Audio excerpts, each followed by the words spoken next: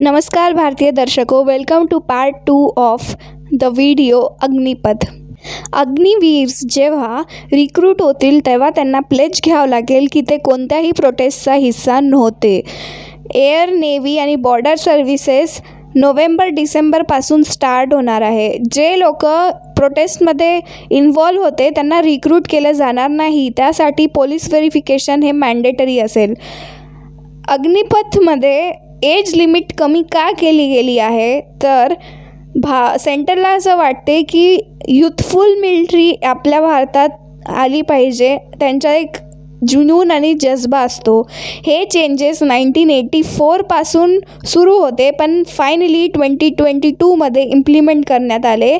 कारण मधात कोविड आला ज्याच्यामुळे रिक्रुटमेंट पूर्णपणे थांबली होती.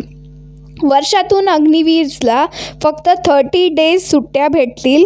चार वर्षाच्या आधी ते रिझाईन नाही करू शकणार.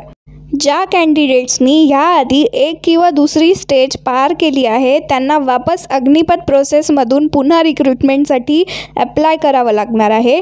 ट्वेंटी सेवन्थ जून मंडेपासून एक ड्राफ्ट नोटिफिकेशन रिलीज होईल आणि सगळ्या सेंटर्सवर रजिस्ट्रेशन वन जुलैपासून चालू होईल. ऑगस्टच्या फर्स्ट हाफमध्ये रॅली सुरू होतील. इंडक्शन प्रोग्राम दोन स्लॉटमध्ये घेतल्या जातील. आणि first slot twenty five thousand Agniveer recruit करील ज्याच्यात इंडक्शननंतर ट्रेनिंग होईल फर्स्ट किंवा सेकंड वीक ऑफ डिसेंबरपासून सेकंड लॉट हा first half of February twenty twenty थ्रीमध्ये घेतला जाईल. त्याच्यात फोर्टी थाउजंड अग्निवीर रिक्रूट केले जातील.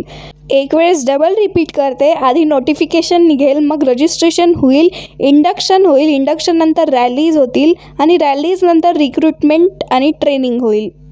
सेवन्टी फाय पर्सेंट अग्निवीर्स जे चार वर्षानंतर सेवा त्यांची संपेल त्यांना गव्हर्मेंटने ten percent quota pre reserve केला आहे. Central arm police force Assam rifles coast guard defence public sector अशा वेगवेगळ्या पब्लिक इन्स्टिट्यूशन्समध्ये त्यांच्यासाठी प्री रिझर्वेशन ठेवलेलं आहे.